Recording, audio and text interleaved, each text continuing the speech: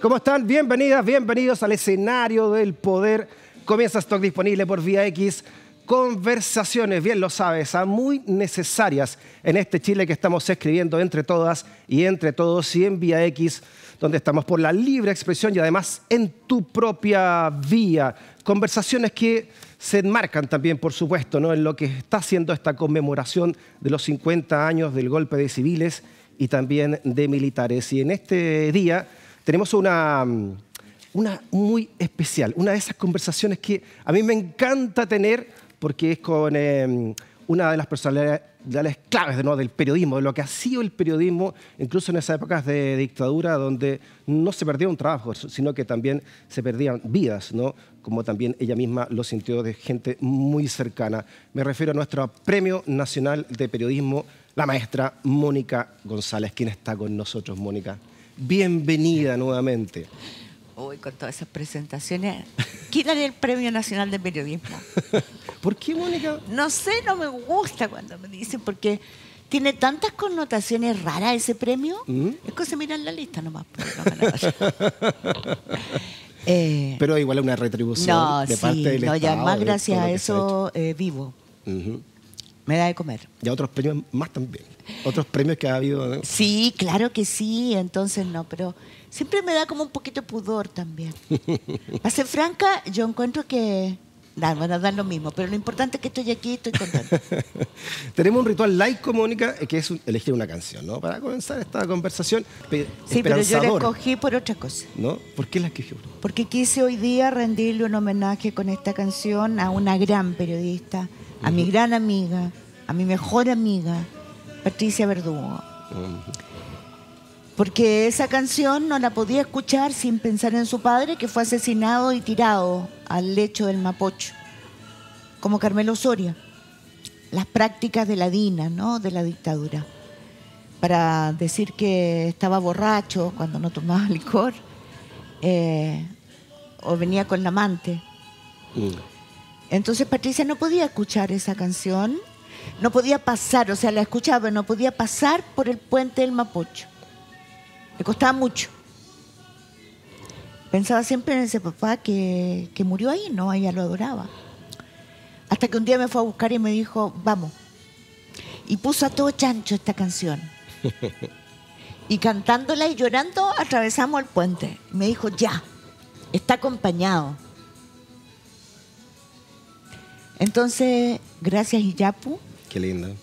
Eh, gracias Patricia. Eso. Ahí está Patricia Verdugo, gran periodista también, ¿eh? gran periodista de investigación. Escribió sobre la caravana de la muerte también. Sobre el, gran libro, Los zarpazos del Puma. Pero ella escribió muchas cosas más. Muchas otras cosas, eh, y fue una, un aporte invaluable. Mónica, estamos conmemorando eh, los 50 años del golpe civil y militar, que tú has escrito varios, tengo dos de tus libros, ¿no? de todo lo que ha sido tu investigación, eh, La Conjura, que habla de los mil y un días del golpe, libro de cabecera. Cuando la miro digo, todo eso lo hice yo. y también, por supuesto, este, este que salió también con todos los apuntes de una época feroz, Mónica González, reportaje y entrevista en dictadura, eh, que está acá al lado. Idea y recopilación de Cristóbal Peña. Cristóbal, gran periodista, Cristóbal trabajamos Tremendo otro gran periodista de, investigación. Bueno, hay que decir que nosotros trabajamos juntos. También, pues Mónica. Empezamos a trabajar en La Nación en esos años 90. Y después en, el, después diario en el Diario 7. Lindo proyecto, ¿eh? el Diario 7. Yo era tu jefa. Lo pasamos bien, usted es la maestra, pues, por supuesto. Y cuando decíamos, está en work in progress. Salió el tema de que. No, no está en work in progress. En reunión de editores, este patudo, yo decía, y tal cosa. Work in progress. Lo patentaste. Mónica, después de todo lo que de todo lo que hemos vivido, ¿no? Después de todo lo que tú lo has escrito, vamos a repasar algunos de tus grandes reportajes también para las nuevas generaciones de cómo se hacía periodismo y se perdía la vida haciendo periodismo en, varios años en Chile. Em, esta encuesta que saca Mori, no sé si tú qué, grado le, qué, cómo lo atribuye, cómo la explica, donde hay un porcentaje, un 36% de los chilenos que justifica el golpe de Estado del 73. Em, más de un tercio, ¿no? ¿Qué, ¿En qué momento estamos del país? ¿Por qué? ¿Por qué ocurre? Bueno, hay un, evidentemente hay un, eh, hay un sector del país que, que siempre ha creído que los ladrones, los cobardes y los asesinos son sus líderes. Porque eso es lo la, la, verdad, ¿no? Reivindicar a Pinochet como un estadista, como el hombre que tú quieres, es tu, tu líder, ¿no? Es un cobarde, un asesino y un ladrón en, eh, en serie. 17 millones de dólares en sus cuentas, que es lo, que se logró detectar. Pero además cobarde. Bueno, ayer el comandante en jefe del ejército lo dijo meridianamente clara, el ex, Ricardo Martínez. Él dice algo que, eh, que yo lo había relevado porque efectivamente él lo dijo hace dos años. Y yo me acuerdo que estaba en un programa Hola Chile con Eduardo de la Iglesia, que está ahora aquí en Vía X, en que yo llevé mi primicia, que era eh, lo que acababa de decir el comandante en jefe. Y esto de que eh, se cometieron errores, que hay que asumir el asesinato del general Schneider, que se hizo, por favor, traidores a la patria, eh, con el gran agente de la CIA, Agustín Edwards, que es el que lleva la noticia de que el, que el general que está por el golpe es Camilo Valenzuela, que es el jefe de la guarnición de Santiago, eh, quien está dispuesto a dar el golpe, y es el que participa, recibe la plata, recibe las armas para el asesinato del general Schneider. ¡Qué vergüenza! ¡Qué horror! ¡Qué traición a la patria! Yo digo, no se les cae la cara. Sí. Porque recibir plata, armas, eh, de una nación extranjera. Por favor. Mm.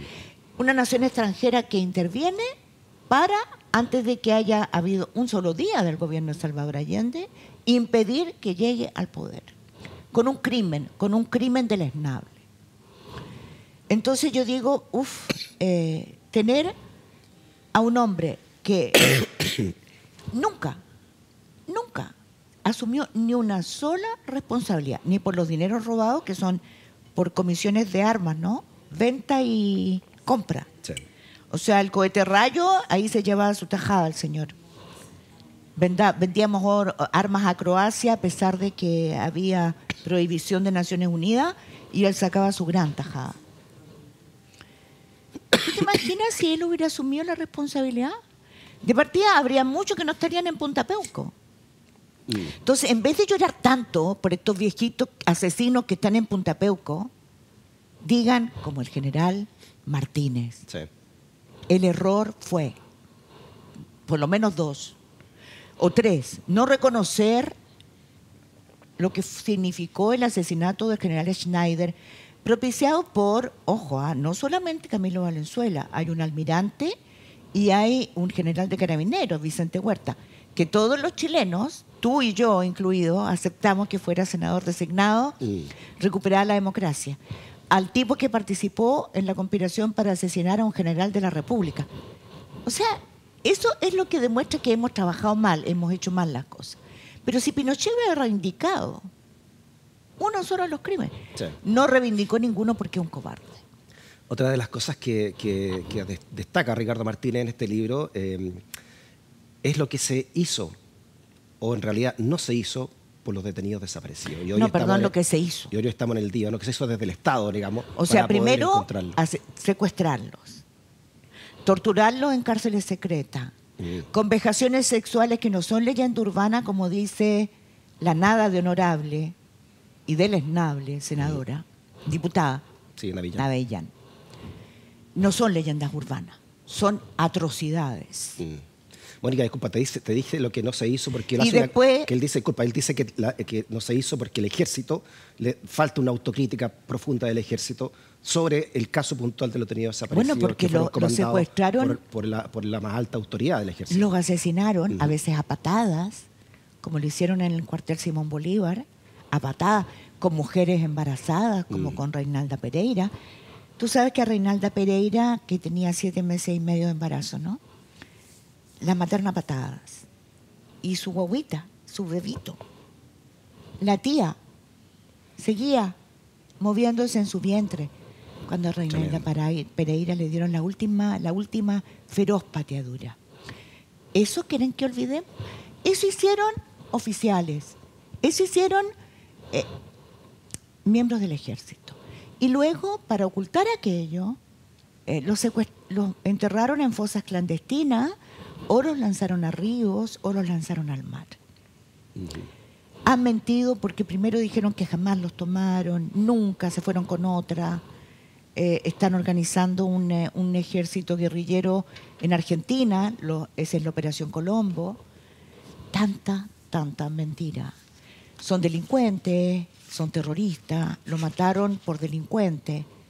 Eh, bueno, y después, el 77, el general Pinochet, el cobarde, eh, le da susto con el hallazgo de los cuerpos de Lonquén, el 78, y ordena la operación recuperación de televisores. Eh, como se encuentran cuerpos en una mina donde fueron lanzados vivos, en Lonquén, no, no hemos, nosotros nos cuesta asumir eso. Los lanzaron. Qué, atrocidad esto, ¿no? Y este retiro de televisores de. Campesinos los lanzaron vivos. Mm. Ojo, no solamente no se conformaron con eso, porque la Vicaría de la Solidaridad, que logró que no. que esos cuerpos los sacaran, se los llevaran al servicio médico legal, fíjate que la CNI se los robó. Mm. Monseñor Alvear estaba en la iglesia en Recoleta con los familiares esperando para darle el último rito de la sepultura cristiana. Se los robaron. Entonces, lo que dice el general Martínez es que no solamente los hicieron desaparecer, táctica enseñada por el general Osegues de la guerra de Argelia a las eh, dictaduras o a las policías secretas de las dictaduras de Chile, Argentina, mm. Uruguay, Bolivia, Paraguay y Brasil. Mónica, ya en medio de este, de este panorama ¿no? que tú relatas, había un, grupo, una generación que, donde tú estabas de periodistas que trataron ¿no? de, hacer precisamente eso, hacer periodismo, eh, seguir con la verdad. O sea, lo que hicimos fue hacer lo que teníamos que hacer nomás. O sea, pero cuando, te, cuando costaba la vida, compañeros tuyos así, así la pagaron, ¿no? como, como, como Pepe Carrasco, etcétera, ¿no? Eh, déjame leerte algo que escribió Juan Cristóbal Peña en este, en este prólogo de Mónica González Apunta, Apuntes de una época feroz, ¿no? que recoge precisamente estas crónicas, Mónica. Dice que, en tu caso, ¿no? Eh, reportear la dictadura fue sumergirse en un campo de batalla inundado por la corrupción y la muerte.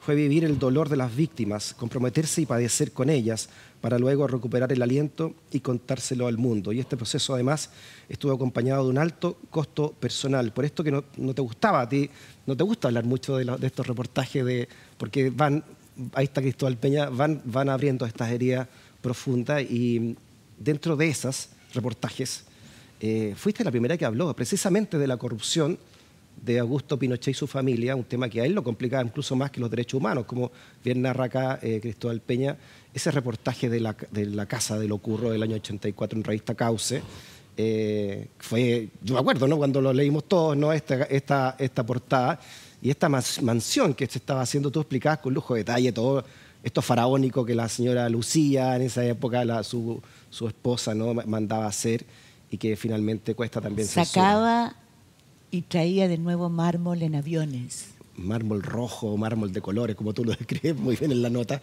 con esa también ironía dentro de todo este espanto, ¿no?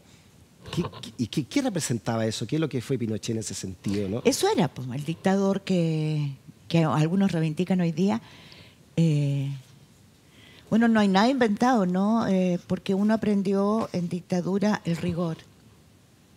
Eh, no se podía equivocar ni en una cifra, ni en un dato, ni en una persona. Rigor, sobre todo rigor absoluto, porque era ilusamente, eh, decía uno, yo me voy a defender en tribunales porque esta es la verdad. Pero además, porque no era solamente la masacre. Fíjate que desgraciadamente eh, aprendimos temprano que la vida no tenía mucho valor para, para muchos que hoy día le dicen que son defensores de la vida y te defienden ese feto que está por nacer y hacen gárgaras con eso. Mentira. Es cosa de ver qué pasó con las mujeres embarazadas y es cosa de ver qué pasó con los niños que detuvieron y quisieron presenciar las torturas de su mamá y de su papá y de su hermano. Eh, hay mucha gente que, que va al cine y llora con los crímenes de los nazis. Bueno, ¿saben qué? Eh, no, aquí hubo cosas peores. Mm. Y desgraciadamente eh, esa gente eh, le hizo más mella que robara, porque en el fondo le estaba robando a ellos, ¿no? Mm. Claro, un Pinochet ladrón en un momento dado hizo mella y uno hacía estos trabajos por una sola causa. A ver, de partida hay que decir, uno eh, era parte de un río. Había mucha gente anónima, entre ellos periodistas que trabajaban en los medios que la dictadura permitía, porque nosotros éramos parias. Claro. No podíamos entrar a ninguna parte, nos perseguían. Pero los periodistas que trabajaban en los medios permitidos nos entregaban información valiosísima, arriesgando sus vidas. Y estaba la Vicaría de la Solidaridad. Abogados, eh, trabajadores sociales, eh, enfermera, secretaria. Ese ejército de la vida, ese sí que fue un ejército que luchó por la vida, al que le debemos muchísimo. Yo creo que a ellos y a la agrupación, a los familiares de ejecutados, desaparecidos y víctimas de la dictadura, les debemos que en Chile no haya habido una espiral de venganza y violencia. Porque ellos escogieron, a, pe- a pesar de todos los no, los, los portazos, las cosas brutales que hizo la justicia, de empezando a entregarle la piocha del poder a, a Pinochet, ellos apostaron por la justicia, por el camino de la justicia y no de la venganza. Sí. Entonces, eh, ese ejército, nosotros éramos la última cara los que escribíamos la historia.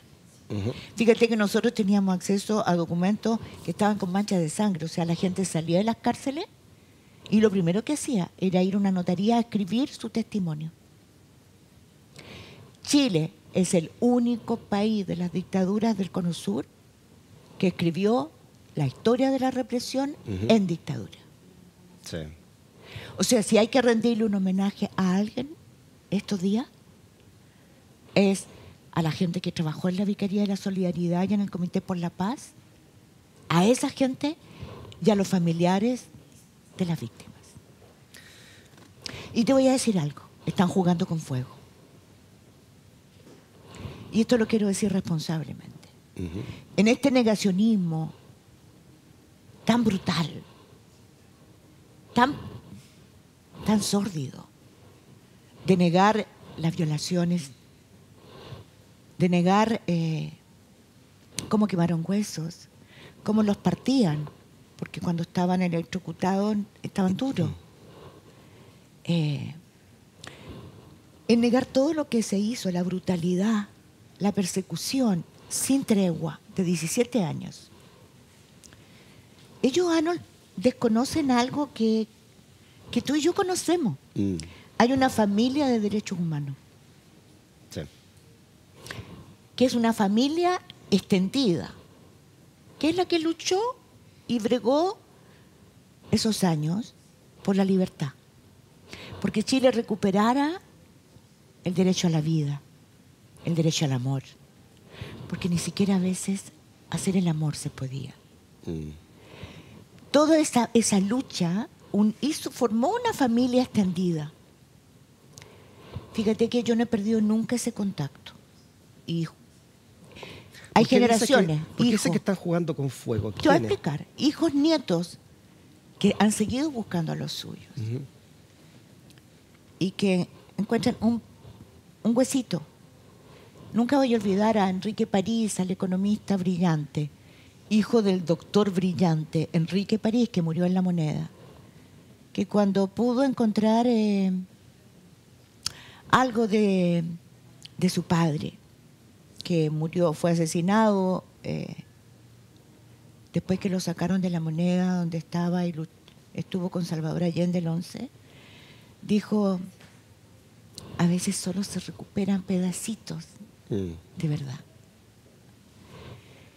Eso le pasó a Laura Tencio también, que le entregaron dos o tres veces, dos veces, cuerpos que no eran el de su padre. Un cuerpo entero y después huesitos. Sí. Hay mucha gente que ha recibido huesitos. Entonces, esta búsqueda la han empezado, por supuesto, madre, esposa, hermana, y después vienen los hijos. Y ahora los nietos. No han buscado venganza. Ellos podrían haber buscado venganza. Ellos saben que sus abuelas las tomaron detenidas, las apalearon, las persiguieron y les dieron portazo en la cabeza una y otra vez en la justicia. Toda esa historia se conoce en la tradición oral que esta gran familia en los derechos humanos ha forjado durante años y que hoy día es enorme. Bueno, cuando yo hablo con esos jóvenes me dicen, Mónica, ¿valió la pena? Mm. ¿Valió la pena para esto? Entonces digo, por favor, ojo, están jugando con fuego, porque la próxima vez no va a haber corderos.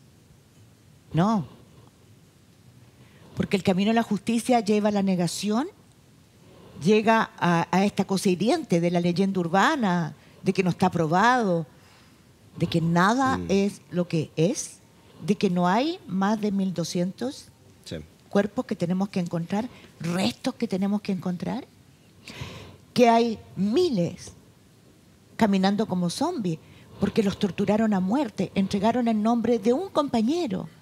Mm y perdieron ese impulso vital que los hacía vivir. O la gente que se quedó en el exilio. Las familias que se dividieron como si una bomba de racismo hubiera explotado al medio. Mm. Es un horror el negacionismo. Está hecho para provocar, está hecho para infringir nuevo dolor.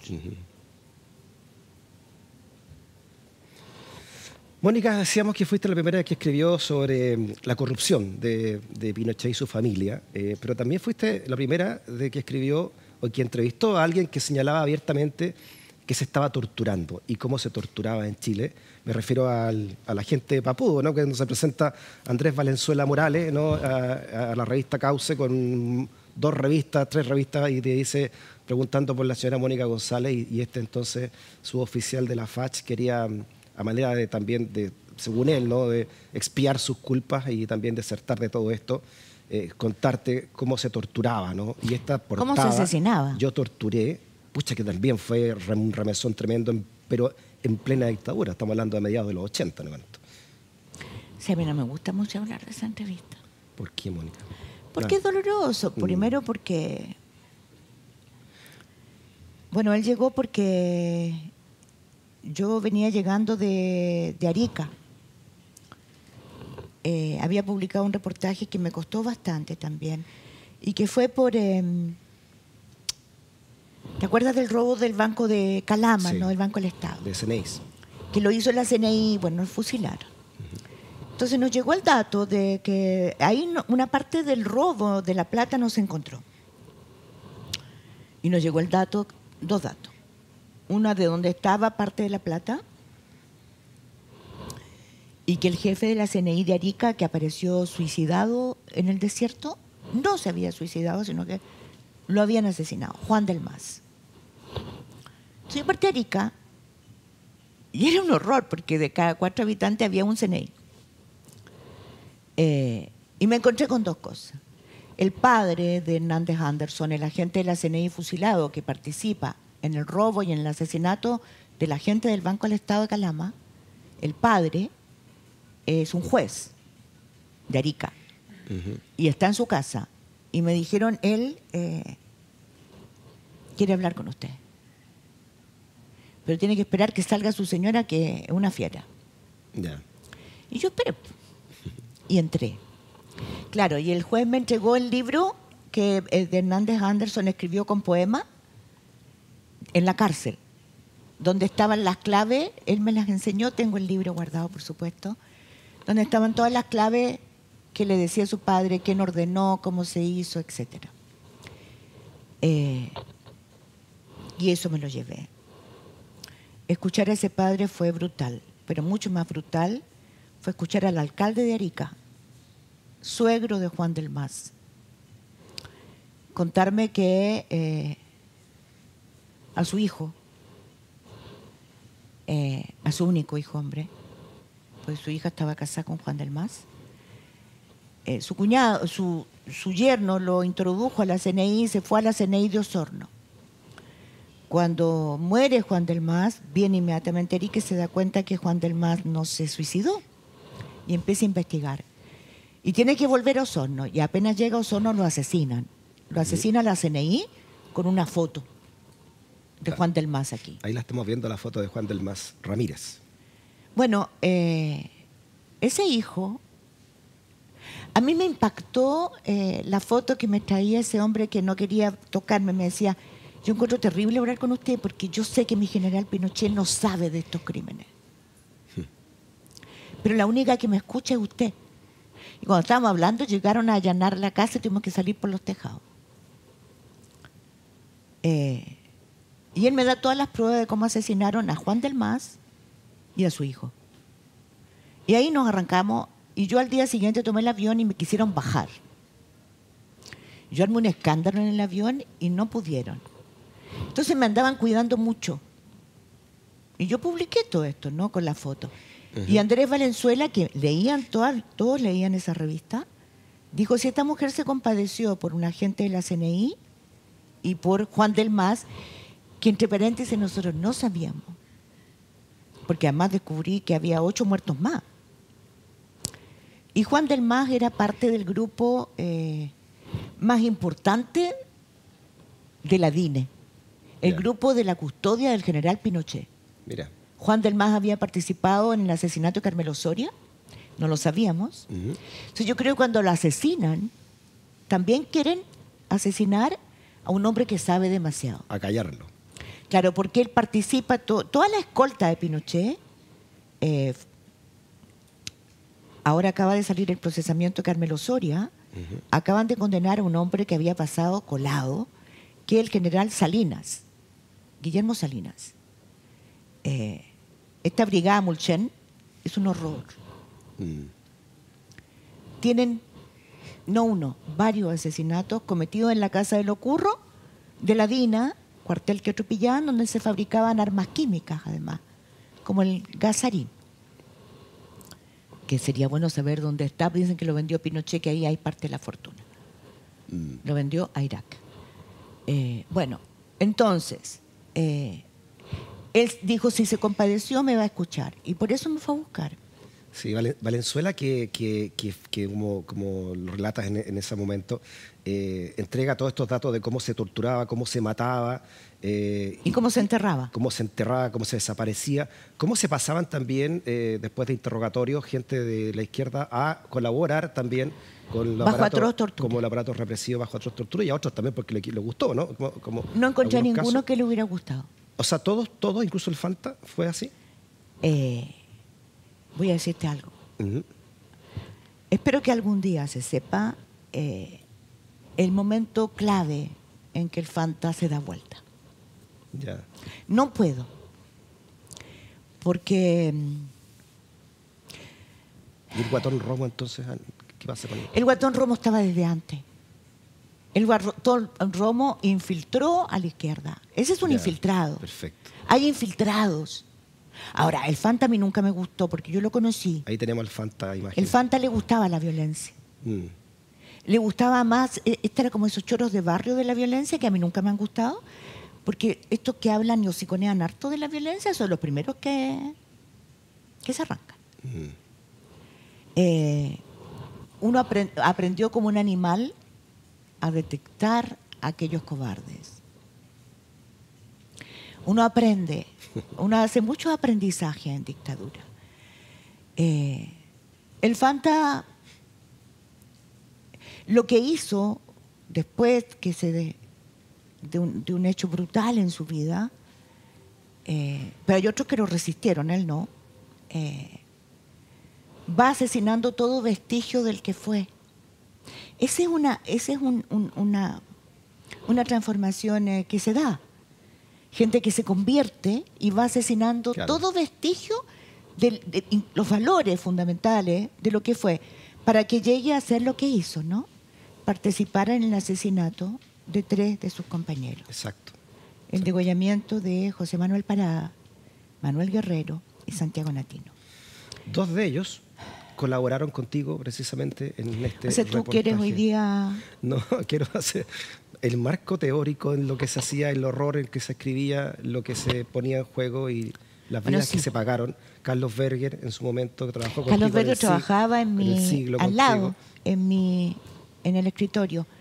Y todos los días eh, me daba un litro de leche, pues yo estaba esperando a mi, estaba embarazada de mi hija mayor, Andreita. Y él llegaba con una botella de leche y me hacía tomármela durante el día. Carlos eh, Berger, esposo de Carmen Hertz. Esposo de Carmen Hertz, en el diario El Siglo. La diputada Hertz. Y había otros compañeros que me enseñaban a hacer. Ahí tenemos, eh, disculpa, ahí tenemos Carlos Berger. Fue un gran, un gran compañero, un gran amigo. por la caravana de la muerte. Un gran amigo. Eh, estaba él sentado aquí, el guayo La Barca, al otro lado. Eh, sí. Eh, que me enseñaron cosas bien importantes. Eh, el derecho a la vida lo aprendí con ellos también. Por eso digo que se juega con fuego. Mónica, eh, bueno, Parada, Parada y Guerrero fueron degollados. eh, ¿Lo atribuyas a, este, a este reportaje, a la ayuda que se hicieron? Porque yo estaba reconstituyendo. eh, Por eso tuviste que irte de Chile, el 85. No, yo, no, yo salí tres meses nada más, no Sí. pude más. Volviste a Francia a ver a tu familia y volviste nuevamente a Chile a, a seguir con A periodismo. seguir, a seguir con Ahí periodismo. está Manuel Parada, digamos, y, y luego sale Guerrero.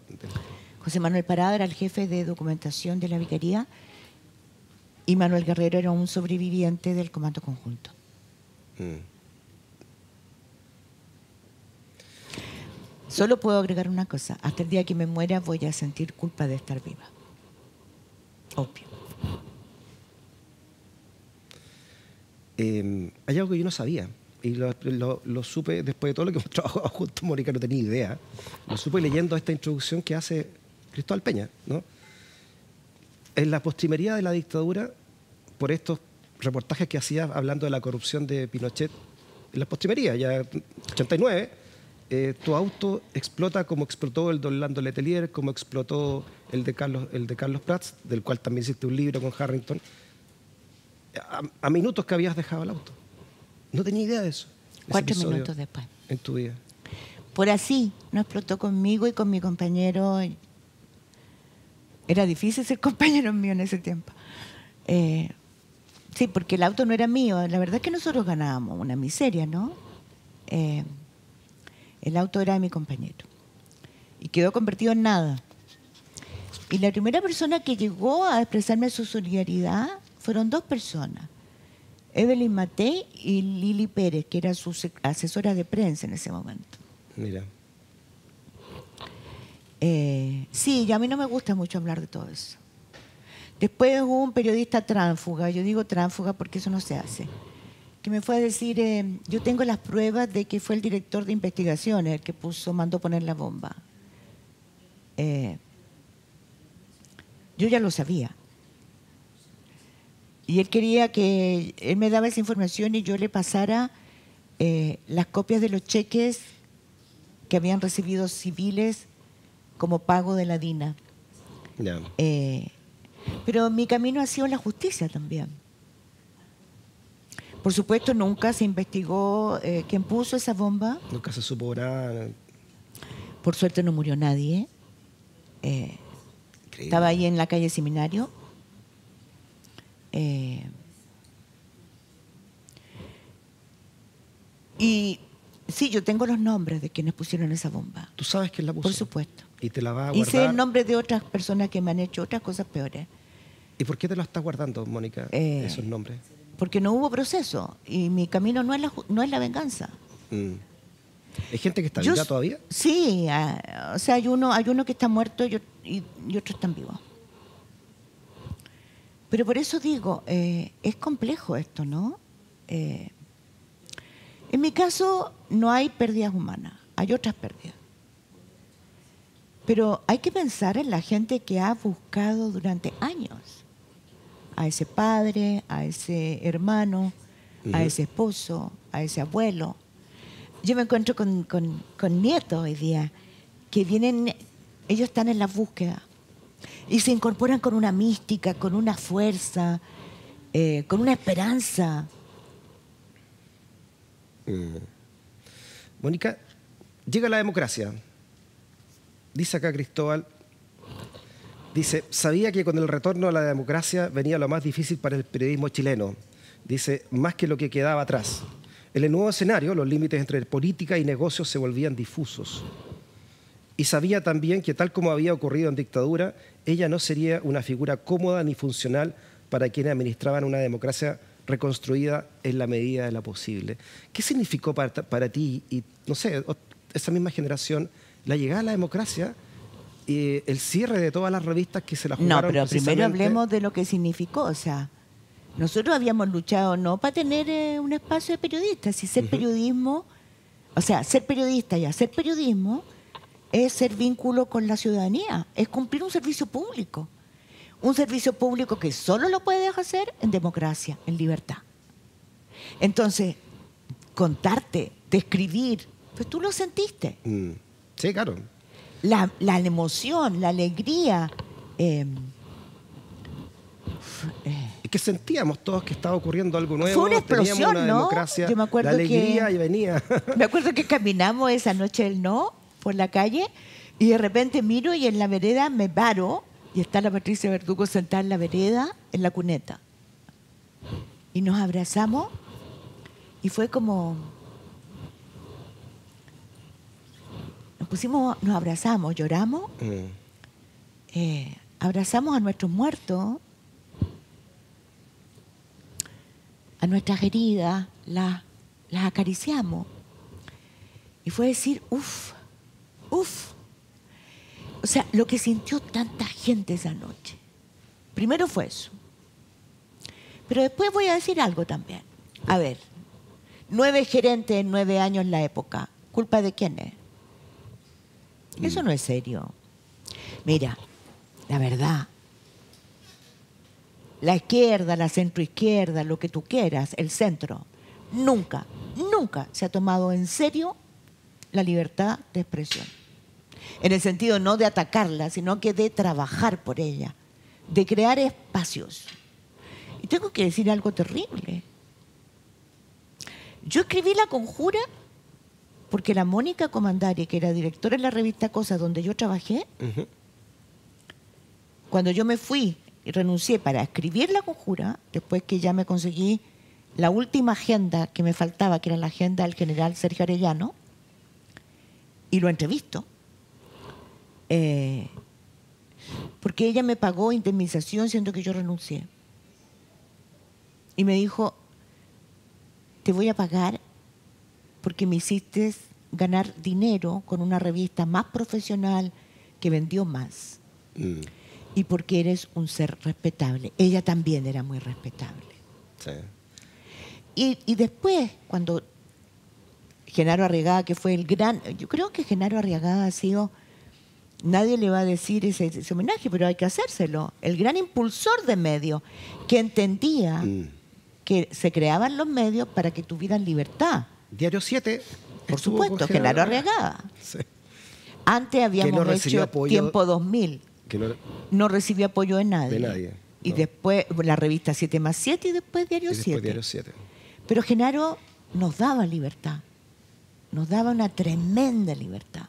Mm pero para cuando ya no, tuvimos apoyo y porque cuando publicamos la apartada de Maciel, el gran líder, dueño eh, de los legionarios de Cristo, Marcial Maciel. Marcial Maciel, con, cuatro testimonios entrevistados por nosotros de sus aberraciones. Nosotros teníamos, me acuerdo perfectamente, 19 o 20 contratos anuales en la revista 7 más 7. Nos quedaron dos. Imagínate. Porque los legionarios de Cristo tenían una influencia brutal, como el Opus Dei, en la agencia de publicidad. Mm. Entonces, eh, claro, hubo... El que me dio la mano fue Álvaro Sayé. Claro. Que dijo, Mónica, después de todo lo que has trabajado, ¿qué vas a hacer? No sé, le digo yo. Eh, ¿qué te gustaría? Un centro de periodismo e investigación. Y sacó un papelito y dijo, a ver, ¿cómo lo haría? Con cuatro periodistas, ¿con qué sueldo? Con los sueldos que gana un periodista que debe luchar por su independencia. La independencia te cuesta el sueldo en Chile. ¿ah? Sí. Los que ganan mucha plata generalmente no, son independientes. Mm. Eh, y Álvaro Sayé eh, hizo que se creara CIPER y dio financiamiento importante Sí. durante 10 años. A pesar de que Cristian Bofil hizo todo lo posible, el director de la tercera, Hoy director de Exante. hizo todo lo posible para que no siguiéramos. Me acuerdo que me dijo por una investigación del Transantiago que es excelente, que dice, descubre por qué el Transantiago no sirve. Ujú. Él me dijo, no, Mónica, te publico el recuadro. El recuadro. Se me humilló. Mm. Y después me dijo, mira, ¿ves que en país Diosel Pérez, que era el director de la cuarta, que estaba viejo? Sí. Eso fue hace 2007. O sea, hace Mm. 15 años. 15 años, sí. Eh, entonces me dijo, a Diosel Pérez lo saco a comer una vez al mes. Pero ya está viejo ya. Mónica, ¿cuándo te vas? Porque ya te toca retirarte. Eso te lo dijo. Eso me lo dijo. Bueno, lamentablemente no le hice caso. Oye, Mónica, nos quedan un par de minutos antes de, de irnos a corte. Eh, no quisiste seguir en el gobierno de Eduardo Frei eh, porque te pusieron, según lo que leo acá, ¿no? Te pusieron ciertas cortapisas. eh, no, me engañaron. ah, eh, y, ah, y otra cosa más. Tú fuiste la primera que escribió sobre el yerno Pinochet de Ponce Lerú. que además Ponce Lerú, ahí conocimos quién era Ponce Lerú ah, con, tu, con tu reportaje En cauce. en Cauce. En dictadura. Pero además Ponce Lerú se enriquece aún más precisamente en los gobiernos de la concertación. ¿no? ¿Qué te parece toda esa transición concertacionista y puntualmente qué te, qué te pedían para que no fueras, para que fueras realmente directora de la Nación y tú dijiste no? No, no, no, si no me pedían nada. Eh, Ellos se dieron cuenta que yo no era comprable. Hagamos una pausa y me cuenta por qué. ¿Por qué dijiste no, esto no lo puedo aceptar, no va camino conmigo y se te empieza a complicar ¿no? este panorama, incluso en democracia después de luchado tanto por conseguirla ¿ah? Eh, desde el periodismo? Hacemos una pausa, seguimos hablando con la maestra Mónica González. No te vayas de la sintonía. Muy bien, seguimos con Mónica González en esta reflexión ciudadana llamada Stock Disponible. Eh, ya, ¿qué, qué, qué no aceptaste? ¿Qué, qué- No, no, ¿Cuáles no. eran esos o que tú percibías que La verdad, a mí, no, a mí no me han ofrecido nunca más que una sola persona eh, una cantidad importante de dólares. Pero no. eh, lo que me dijeron, yo había dicho que. Porque tenían que nombrar nuevo director. Yo era candidata a ser directora de la Nación Sí. con Eduardo Frei. Entonces yo había dicho que eh, por favor me contaran antes quién era, porque si iban a escoger a alguien por ser solo demócrata cristiano, pero iba a tener que seguir haciendo, yo venía siendo directora, porque se habían ido los demás, ¿no? Eh, baste- hartos meses antes. Eh, Básicamente mi socio, que era Alberto Luengo, mi gran socio en la Nación. Le mandamos un cariño grande también a Ay, Alberto. sí, por favor, mi hermano. ha sido mi hermano. Mm. Eh, estaba en la tercera. Eh, entonces, eh, yo dije, bueno, si no viene alguien a hacer la mitad de la pega conmigo, porque yo me quedo como segunda, o tú eres la directora, me habían dicho, o eres la subdirectora. Pero que venga alguien que haga la mitad de la pega conmigo, ¿no? Claro. Eh, que, que- que vea las pautas, que investigue, que escriba, que reportee, que haga, que dirija el diario y que aguante cualquier presión del, Que del pucha, gobierno. que pucha que la hubo, ¿ah?